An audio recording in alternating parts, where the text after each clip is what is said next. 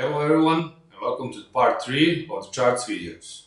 We will continue from the last time that we left and we will now show you how you can create charts with our third library that we have that's called chart.js. So without further ado, Alexander you can dive in and show us how to create charts with chart.js. Okay, um, okay, well um, first the documentation.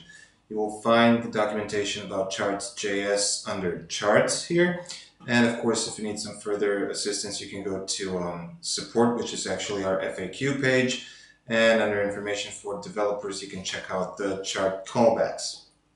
Um, we'll be using one table uh, here, and we will just create a couple of charts. So starting with, uh, with the radar chart, Let's choose the engine, chart.js, and choose the radar chart. So let's say chart 1, click on next.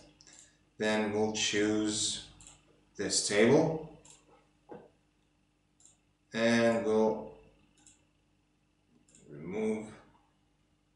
We have a couple of string, yeah, we have two string uh, columns. So, so that, that notice is helpful when you yeah. Where you can see which limitations they are if you, for example, choose two string columns right. to use in charts. Yeah, so the, the chart engines do not allow more than one string type column, date, time, image, email, or URL. So we have to exclude one of those. The error is gone now. So now we click on next and we can actually see the data generated here in the chart. Um, options for customizing the chart are right here in the wizard you can change the color of these um, uh, series.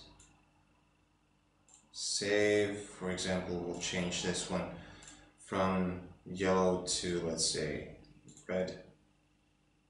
And save. Then under axes, you can choose the labels. There it is right here. Mm -hmm. We don't need that. And we can show the grid on the chart or without the grid and uh, change the title of the chart. Do we want to show it? Where's it positioned? And so on. So now we save the chart, we get the shortcode. We can add the shortcode right here on the page, or you can use the um, included wpDataTables. Uh, this is for report build, builders, sorry. So included chart, and we'll call it, we'll select chart one. So when we publish the page, we can actually see it right here. This is all done on our sandbox website so you guys can check it out on your own. So here it is, here's the chart that we just created. So let's create another yeah, one. Sure. Um, this time we will use the um, area chart. So uh, area chart, same engine, same table, go to the next page, we'll exclude this one and this one and add all these columns.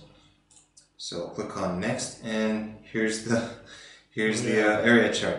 Um, in here you can also change colors, uh, add names to the axes. Um, basically the customizations settings are almost the same like from the google charts and from the Highcharts exactly like, yes almost the same. I mean there may be a few minor differences but for example here you can uh, choose the curves so that the lines are smooth not straight. So let's leave that on and save the chart. And again you can now copy the shortcode and add it to the page here. So when we update the page we can take a look at it and see the two charts one below each other. Okay.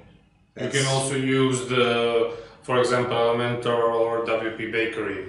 Yes, of course. Uh, uh, you uh, you could you can see that actually uh, in our sandbox that you can use the um, backend editor of uh, WP Bakery and uh, even the front end editor I mean, our whole documentation website is done with this uh, builder, so we can confirm that it's working flawlessly. Okay, nice, nice. Thank you. You're welcome. Thank you. That's pretty much it. We don't need to dive further to creating a chart. So if you have any questions, please let us know in the comment section below and we will answer it right away.